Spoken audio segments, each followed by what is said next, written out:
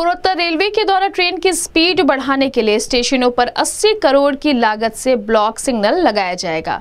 जिसके संबंध में पूर्वोत्तर रेलवे के सीपीआरओ पंकज कुमार सिंह ने बताया कि पूर्वोत्तर रेलवे निरंतर आधुनिकीकरण की तरफ़ बढ़ रहा है, जिसमें ऑटोमेटिक ब्लॉक सिग्नल शामिल है। छपरा से लेकर बाराबंकी, सीतापुर से भुजवल तक ऑटोमेटिक ब्लॉक सिग्नल लगने के लिए कार्य स्वीकृत हुआ है, जिसमें 1000 करोड़ की धनराशि लगेगी और केंद्र सरकार से 80 करोड़ रुपए मिला है, जिसके लिए छह टेंडर किया जा चुका है, जिसमें से तीन टेंडर में एजेंसी फिक्स होने की प्रक्रिया चल रही है। जिसका कार्य जल्द शुरू हो जाएगा, इससे लाइन की कैपेसिटी कई गुना बढ़ जाएगी। एक ब्लॉक सेक्शन में एक ही ट्रेन जाएगी ऑटोमेटिक ब्लॉक सिग्नल में हर किलोमीटर पर सिग्नल होता है। इससे एक ब्लॉक सेक्शन में एक समय, एक साथ कई ट्रेनें जा पाएँगी और लाइन की क्षमता बढ़ेगी। इससे हम लोग यात्रियों की मांग को पूरा कर पाएँगे। ट्रेनों के कोचेस को बदला जा रहा है और नए आधुनिक युक्त स्लीपर कोचेस लगाया जा रहा है। उन्होंने बताया कि ब्लॉक सिग्नल लगने से ट्रेन की स्पीड को 130 किलोमीटर पर चला जाएगा। इस संबंध में गोरखपुर न्यूज़ से बात करते हुए पूर्वोत्तर रेलवे के सीपीआरओ पंकज कुमार सिंह ने कहा।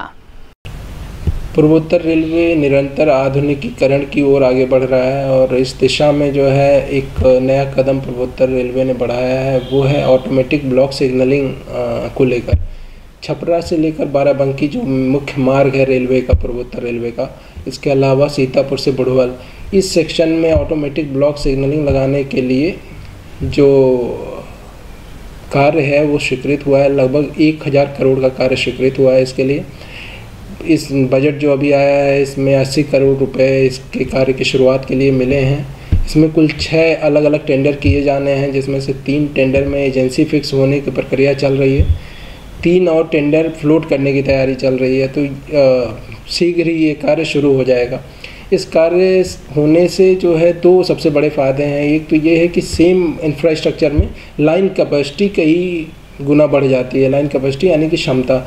जैसे अभी क्या होता है कि ऑन एन एवरेज जो एक ब्लॉक सेक्शन होता है, वो आठ से दस किलोमीटर का होता है। और उसमें अगर एक ट्रेन एक ब्लॉक सेक्शन में जाती है स्टेशन से तो जब तक अगले स्टेशन पर रिसीव नहीं हो जाती है, तब तक दूसरी ट्रेन को लाइन क्लियर नहीं मिलता है। यानी कि एट ए टाइम एक ब्लॉक सेक्शन में एक ही ट्रेन जा सकती है। बट ऑटोमेटिक ब्लॉक सिग्नलिंग होने के बाद हर किलोमीटर पर सिग्नल लगा होता है। तो उस पर जो है, एक से ज़्यादा ट्रेन एक ब्लॉक सेक्शन में एट ए टाइम जा सकती हैं, एक के पीछे ये दूसरी ट्रेन इस तरह से चल सकती है। तो इससे लाइन की जो क्षमता है, वो इंक्रीज हो जाती है। हम ज़्यादा ट्रेनें सेम इंफ्रास्ट्रक्चर में चला पाएँगे। तो यात्रियों की मांग जो है ट्रेन चलाने की, वो पूरी कर पाएँगे।